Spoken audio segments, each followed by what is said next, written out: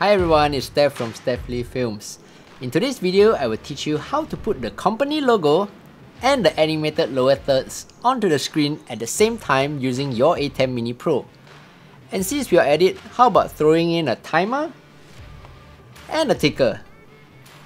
So get ready for this simple and easy step-by-step -step tutorial.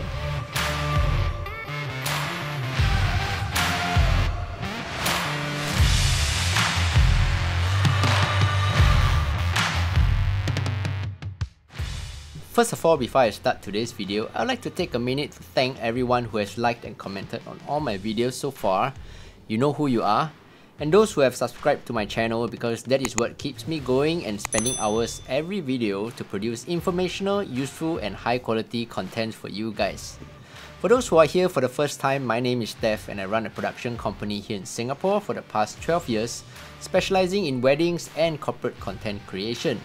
Occasionally, I do unboxing videos and first look of the latest equipment in the market. I started focusing on building my YouTube channel since the circuit breaker started here in Singapore last month and so far I've gotten about 150 subscribers and more than 8,000 views on all my videos so thank you all so much for showing interest in this channel. Hopefully you can learn something from one of the videos I create along the way. Alright, let's get back to the topic of this video. So far I've talked about using the chroma key as an upstream key for your green screen and a downstream key to punch in the animated lower thirds and company logo. Okay, so here comes the ultimate question. How do you put both the company logo and the animated lower thirds onto the screen at the same time? Is it even possible? So today in this video, I will teach you how to display your company logo and insert lower third graphics at the same time. I will also teach you how to insert a timer, usually for a countdown to the start of your live stream, as well as a ticker in case you need to highlight certain news or information during your presentation. Before I get all techy, let me do a simple illustration of how this is going to work out. Just imagine three layers of graphics, the company logo, the animated lower third, and the view from camera 1 which is the camera doing the live stream. First we are going to put our company logo on the chroma key. Then we're going to put our animated lower thirds on the downstream key. And finally our main camera which is showing the live stream. Then we're going to put these three layers on top of each other and that is how the live stream will be able to show the person talking, the company logo, and the lower thirds. I will not go into teaching you how to create PNG images for the downstream key because that was already covered in my last video here. So I assume that you already have some knowledge on the downstream key and how to punch in the animated lower thirds. So let's move on to creating the company logo as a chroma key. First of all, we have to download a free software called H2R Graphics. I will put the link in the description below so you can do a direct download from there. Once you have downloaded and installed the app, you will see this interface. Big shout out to the creators of this app here to record. Okay, what I love about this software that it is amazingly simple and straightforward. There's no complicated buttons or algorithm or steep learning curves. What you see is what you get. So for our video today, I'm just going to talk about the chroma button, the logo, timer and ticker button. For the rest of the buttons, you can pretty much figure it out yourself. Next, we need to connect the ATEM Mini Pro to the laptop using the Ethernet cable and adapter. Connect one of the ports to your laptop using the HDMI cable. As I've mentioned before, I usually use port 4 for laptop connection. Once connected, you can see from the multi-view here your laptop view on HDMI 4. Click on logo and select your company logo here by choosing the PNG file you will see a small preview here immediately after you click open. Okay, the next step is pretty crucial, so please listen carefully. You'll need to make sure your laptop is able to display extended graphics. So on the Mac, click on Settings, Display.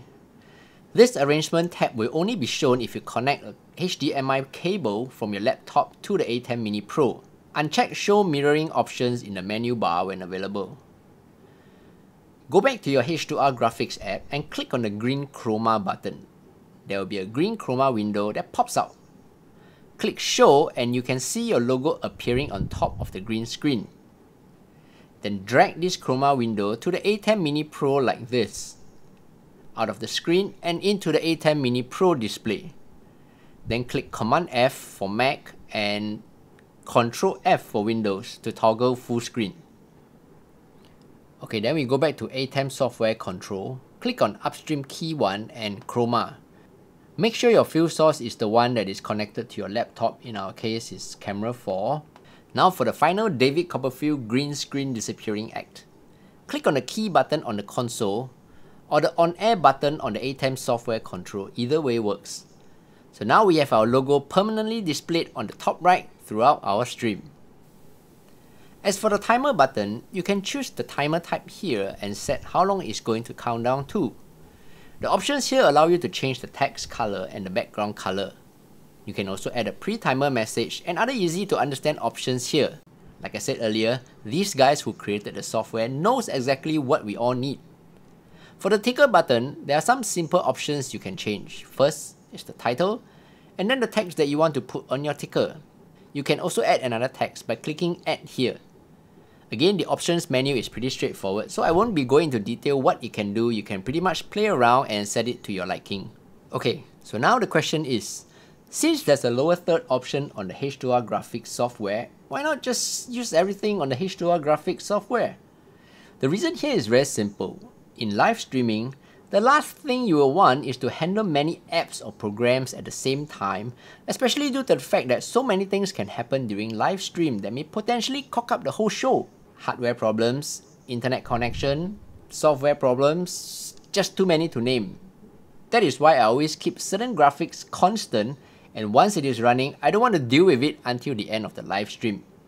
For example, the company logo. Because whatever you do, the company logo will likely be there throughout the entire stream. So far, I've never had a client who needed the logo to be taken down halfway through the stream. And the timer. The timer just needs to be there 5 or 10 minutes before the start of the stream and once you start the timer, you will never touch the timer button again.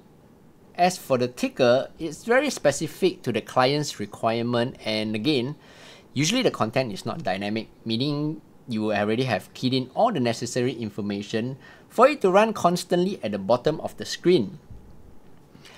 So okay, now we come back to the downstream key. Again, I've shown you in the previous video how we can use the downstream key to punch in animated lower thirds like pictures of cameras, subscribe buttons, like buttons, and so many other options and choices during different parts of the stream. You will want to be paying more attention to this area, that is the reason why we are all using the ATEM Mini Pro, right? With H2R graphics handling everything else, all you need to do is just focus on punching in the lower thirds at the right time. So there you have it.